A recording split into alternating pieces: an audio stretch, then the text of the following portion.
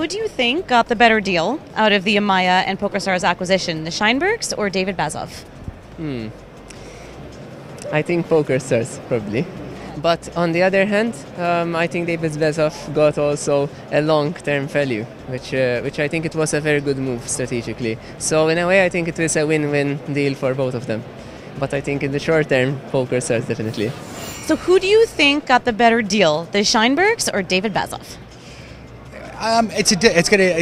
I think it's going to be in the fullness of time one to understand who gets the best deal. I think Scheinberg's obviously got a full value deal, and I think congratulations to them because they have built a very successful business. Um, the, opportu- the opportunities and challenges for uh, David. Uh, firstly, you know, obviously the uh, the benefits are going to be New Jersey potentially licensing them, and as well as the US opening up. I think the uh, the challenge is going to be he's obviously taking on a lot of debt, and also he's not going he's not going to be a private company anymore. PokerStars is not going to be able to be as aggressive as they have been, I think, potentially in the future because of the public markets. There should be a, a decrease in the PE value that you would apply to the PokerStars because there's the, the question of the ability to go back to the United States. But at the same time, it's been bought pretty much at a standard PE ratio for iGaming companies uh, that are that are traded publicly. But you would think this is not a standard company. This is like the market leader. So there actually should be a premium. So it seems like the, the question of getting back in the United States versus the premium that they should get for being the number one have kind of leveled each other out. So I think the deal is actually really fair on both sides. David is in an amazing position, and a lot of people would love to trade places with him.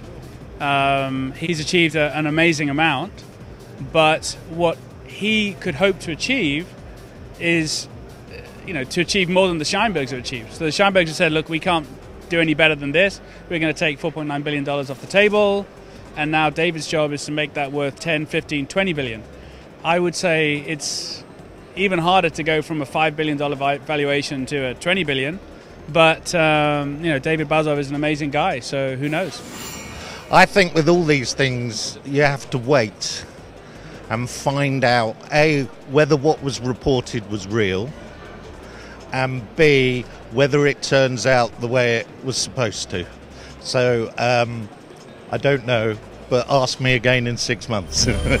Very good answer.